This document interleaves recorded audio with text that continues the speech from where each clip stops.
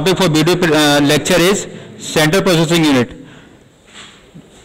So the main part of the central processing units are introduction, general register organization, stack organization, instruction format, addressing modes, data transfer and manipulation, program control, reduce instruction set, computer.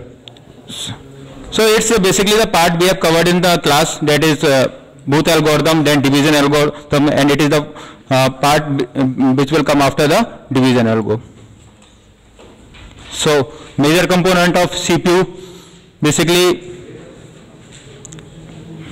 education component that is the L U register file for storing the data and control unit which control of the working of the sorry system basically it acts supervision unit Most of a computer organization falls into three categories. First, single register, that is accumulator organization. Second, general register organization. And third is the stack organization. Uh, in the coming slide, we will see how they function. So, हाँ, first part.